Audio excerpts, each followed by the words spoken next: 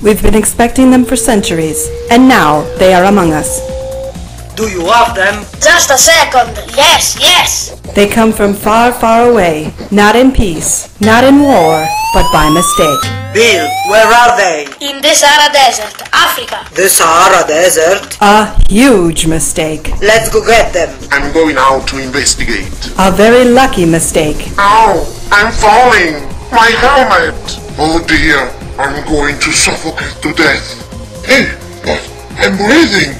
It's clean air! Wow, it's hot! Captain, are you okay? Did you find unfriendly life forms? No, Kira, I believe this planet is uninhabited. I'm coming back aboard.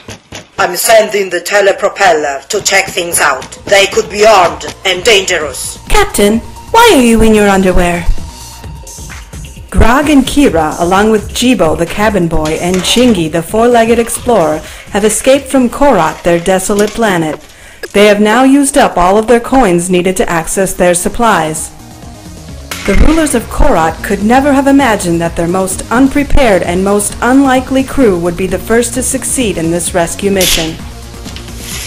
The last coin was used to feed Chingy, who is now ready to take on danger and explore the unknown.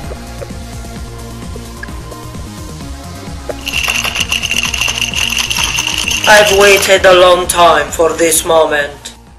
Hey Jingy, what have you got there? Let me see. Hey, they are coins just like ours. Let me try. Yes, yes!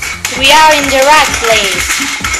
Soon the aliens will demonstrate their powers to the humans, and the world will come to know of the new gurus from outer space.